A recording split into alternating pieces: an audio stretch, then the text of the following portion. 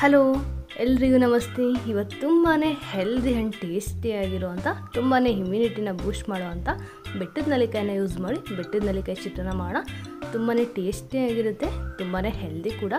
ನಾನಿಲ್ಲಿ ಮೂರರಿಂದ ನಾಲ್ಕು ಬೆಟ್ಟದ ನಲಿಕಾಯಿನ ತೊಗೊಂಡು, ನಾವು ಕ್ಯಾರೆಟ್ ತುರಿಯೋದ್ರಲ್ಲೇ ತುಂಬಾ ಸಿಂಪಲ್ಲಾಗಿ ಬೆಟ್ಟದ ನಲಿಕಾಯಿನ ತುರಿದಿಟ್ಕೋಬೇಕು.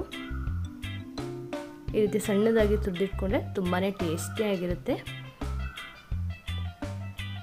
ಈಗ ನೋಡಿ ಇಷ್ಟು ಸಣ್ಣದಾಗಿ ತುರಿ ಸಿಕ್ಕಿದೆ. ಈಗ ಬೆಟ್ಟದ ನೆಲ್ಲಿಕಾಯಿನ ತುರಿದಿಟ್ಟು ಒಂದು ಬಾಣಲಿ ಇಟ್ಟು ಅದು ಕಾದ ನಂತರ ಸ್ವಲ್ಪ ಎಣ್ಣೆ ಹಾಕಿ, ಎಣ್ಣೆ ಬಿಸಿಯಾದ ನಂತರ ಅದಕ್ಕೆ ಒಂದು ನಾಲ್ಕರಿಂದ ಐದು ಗೋಡಂಬಿ ಕೂಡ ಸೇರಿಸ್ತಾ ಇದ್ದೀನಿ. ಬೇಕು ಅಂದರೆ ನೀವು ಕಡಲೆ ಬೀಜ ಕೂಡ ಸೇರಿಸ್ಬೋದು, ಗೋಡಂಬಿ ಕೂಡ ಸೇರಿಸ್ಬೋದು. ಇದಕ್ಕೆ ಒಂದು ಮೂರರಿಂದ ನಾಲ್ಕು ಬ್ಯಾಡಗಿ ಮೆಣಸಿನ್ಕಾಯಿ, ಸ್ವಲ್ಪ ಖಾರಕ್ಕೆ ಬೇಕಷ್ಟು ಒಣಮೆಣ್ಸಿನ್ಕಾಯಿನೂ ಕೂಡ ಸೇರಿಸಿ. ಬೇಕು ಅಂದರೆ ಹಸಿಮೆಣ್ಸಿನ್ಕಾಯಿ ಕೂಡ ಸೇರಿಸ್ಬೋದು. ಈಗ ಇದಕ್ಕೆ ಒಂದು ಸ್ಪೂನಷ್ಟು ಕಡಲೆಬೇಳೆ.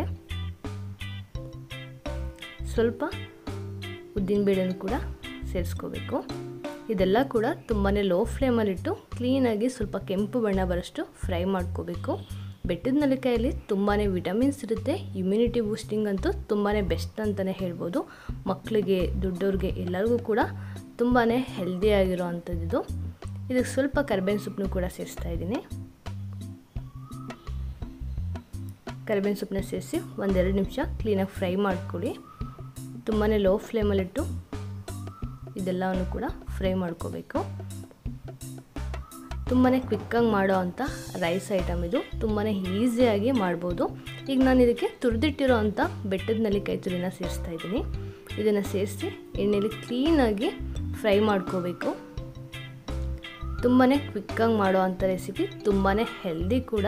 ತುಂಬಾ ಟೇಸ್ಟಿಯಾಗಿ ಕೂಡ ಇರುತ್ತೆ.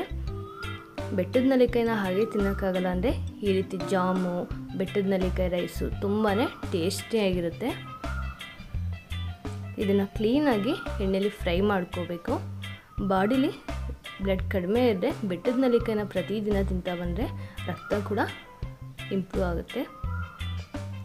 ತುಂಬಾ ಅಲರ್ಜಿಟಿಕ್ ಇರೋರು ಕೂಡ ತುಂಬಾ ಬೆಸ್ಟ್ ಅಂತಲೇ ಹೇಳ್ಬೋದು ಬೆಟ್ಟದ ನಲಿಕಾಯಿ ಈಗ ನೋಡಿ, ಒಂದೆರಡು ನಿಮಿಷ ಕ್ಲೀನಾಗಿ ಫ್ರೈ ಆಗಿದೆ. ಇದ್ದು ಕಲರ್ ಕೂಡ ಚೇಂಜ್ ಆಗ್ತಾ ಬಂದಿದೆ.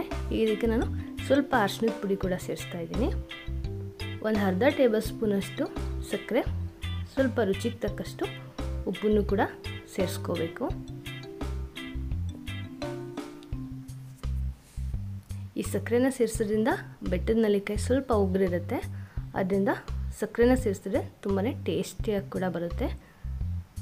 ಇದೆಲ್ಲವನ್ನು ಕೂಡ ಕ್ಲೀನಾಗಿ ಮಿಕ್ಸ್ ಮಾಡಿ ತುಂಬಾ ಲೋ ಫ್ಲೇಮಲ್ಲಿ ಒಂದೆರಡು ನಿಮಿಷ ಬೇಯಿಸ್ಕೊಂಡ್ರೆ ತುಂಬಾ ಟೇಸ್ಟಿಯಾಗಿರೋ ಬೆಟ್ಟದ ನಲ್ಲಿಕಾಯಿ ಚಿತ್ರಾನ್ನಕ್ಕೆ ಗೊಜ್ಜು ರೆಡಿ ಆಗುತ್ತೆ. ಈ ಗೊಜ್ಜನ್ನು ನಾವು ಸ್ಟೋರ್ ಮಾಡಿ ಒನ್ ವೀಕ್ ಕೂಡ ನಾವು ಯೂಸ್ ಮಾಡ್ಬೋದು. ಈ ಗೊಜ್ಜೆಲ್ಲ ಆದ ನಂತರ ಸ್ಟವ್ನ ಆಫ್ ಮಾಡಿ ರೈಸನ್ನ ಸೇರಿಸಿ ತುಂಬಾ ಈಸಿಯಾಗಿ ಮಾಡೋವಂಥ ಬ್ರೇಕ್ಫಾಸ್ಟ್ ಇದು. ತುಂಬಾ ಕ್ವಿಕ್ಕಾಗಿ ಮಾಡ್ಬೋದು. ಮಕ್ಕಳಿಗೆ, ದೊಡ್ಡವ್ರಿಗೆ ಎಲ್ಲರಿಗೂ ಕೂಡ ತುಂಬಾ ಇಷ್ಟ ಆಗುತ್ತೆ. ತುಂಬಾ ಸಿಂಪಲಾಗಿ ಕೂಡ ಮಾಡ್ಬೋದು. ನಾವು ಬೇಕು ಅಂದರೆ ಬೆಟ್ಟದ ನೆಲ್ಲಿಕಾಯಿನ ರುಬ್ಬಿ ಕೂಡ ಸೇರಿಸ್ಬೋದು ಬಟ್ ಹಾಗೆ ತುರಿ ಸೇರಿಸಿದ್ರು ಕೂಡ ತುಂಬಾ ಟೇಸ್ಟಿಯಾಗಿರುತ್ತೆ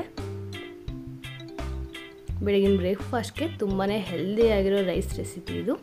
ಮೇಲೆ ಸಣ್ಣದಾಗಿ ಕಟ್ ಮಾಡಿರೋವಂಥ ಸಾಂಬಾರು ಸೊಪ್ಪನ್ನ ಸೇರಿಸಿ ಕ್ಲೀನಾಗಿ ಮಿಕ್ಸ್ ಮಾಡಿಕೊಂಡ್ರೆ ತುಂಬಾ ಸಿಂಪಲ್ ಆ್ಯಂಡ್ ಟೇಸ್ಟಿಯಾಗಿರೋ ಬೆಟ್ಟದ ನೆಲ್ಲಿಕಾಯಿ ರೈಸ್ ರೆಡಿ ಆಗುತ್ತೆ. ನೀವು ಒಂದ್ಸಲ ಟ್ರೈ ಮಾಡಿ ಈ ವಿಡಿಯೋ ಇಷ್ಟ ಆದರೆ ನಮ್ಮ ಚಾನಲ್ನ ಸಬ್ಸ್ಕ್ರೈಬ್ ಮಾಡಿ. Thank you